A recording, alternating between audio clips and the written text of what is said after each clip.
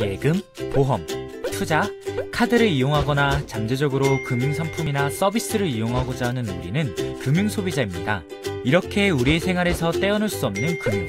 하지만 때로는 금융에 대한 무관심으로 피해를 보기도 하는데요.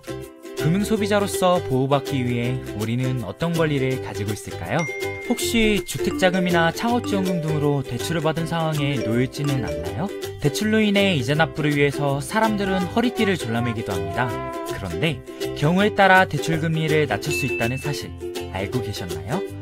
대출을 받은 사람이 연소득 증가, 지계의 변동, 신용 등급의 상승 등으로 신용 상태가 개선되었을 경우 우리는 금융회사의 금리 인하를 요구할 수 있는데요. 이것을 금리 인하 요구권이라고 합니다.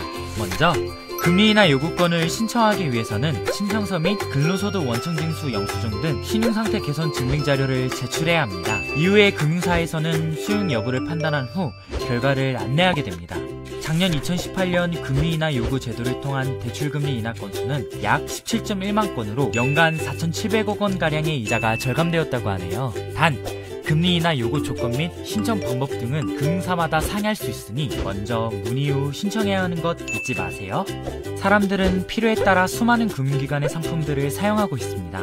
하지만 많은 금융기관을 사용하기 때문에 재산의 존재를 한눈에 파악하기는 어렵죠. 자신이 사용하거나 숨겨진 금융기관의 재산을 모두 확인하고 싶다면 내계좌 한눈에 서비스를 이용해보는 것은 어떨까요? 내계좌 한눈에는 모든 금융기관이 제공하는 공동의 서비스로 자신이 거래하는 모든 금융기관의 계좌를 한눈에 조회해 장기간 사용하지 않아 잊고 있던 계좌의 존재 여부 및 잔액을 한 번에 확인하고 1년 이상 거래가 없는 소액 비활동성 계좌를 손쉽게 잔고 이전이나 해지할 수 있어 개인재산 관리에 효율적입니다. 최근 3년여간 709만 명이 계좌 잔액을 확인해 922만 개의 소액 계좌를 해지하고 945억 원을 찾아갔다고 하니 내 숨은 계좌 찾아보는 것이 좋겠죠?